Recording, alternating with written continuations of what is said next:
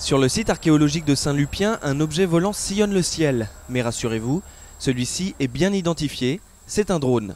Ici, il n'est pas question d'espionnage. Ce drôle d'engin photographie les vestiges du port fluvial antique, un renfort ailé devenu indispensable pour les archéologues. Le but de ce survol et de ces photos par drone, c'est de, dresser progressivement une photo mosaïque du site et de pouvoir redessiner par-dessus et faciliter les plans. Étant donné la, la surface investie et, et l'ampleur de ce qui a été dégagé cette année, on ne pouvait plus euh, réaliser des, des relevés, on va dire, euh, manuels au petit mètre. Donc euh, il a fallu passer à un autre système d'enregistrement. Un relevé manuel, ça serait euh, des semaines et des semaines euh, de travail, ce que le- les relevés par drone peuvent nous éviter. 10 hectares de fouilles, une zone bien trop grande pour être photographiée depuis le plancher des vaches. Alors avec l'aide de ces ingénieurs, les archéologues prennent de la hauteur. Les drones permettent de prendre des photos à des endroits où l'homme ne peut pas aller.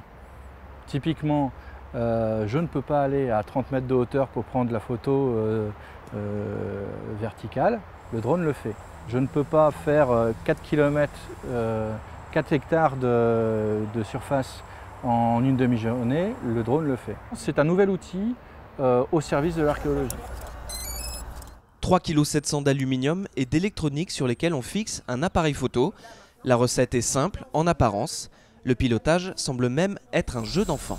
Donc en fait, euh, c'est tout simple. Ici, on monte les gaz donc, euh, pour faire prendre de la hauteur au drone.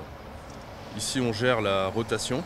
Ensuite, ici, on avance, on recule et on se déplace sur les côtés.